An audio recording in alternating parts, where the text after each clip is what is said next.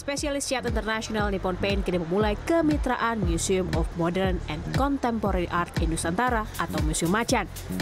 Perusahaan cat terkemuka ini akan mendukung pameran-pameran utama museum sepanjang tahun 2020.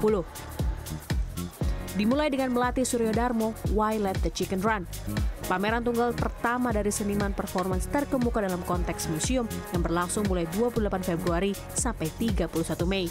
Hal ini disambut baik oleh Direktur Museum Macan, Aaron Seto, dan juga seniman Indonesia Melati Suryo Darmo.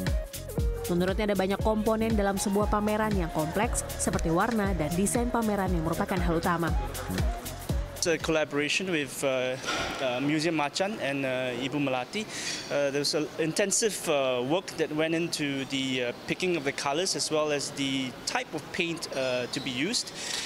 In particular, you notice the museum is a very enclosed, air-conditioned space, and we cannot allow for too much downtime. So we need um, paint that has almost no smell. And of course, there are health issues, concerns as well. So low vol- volatile organic compound.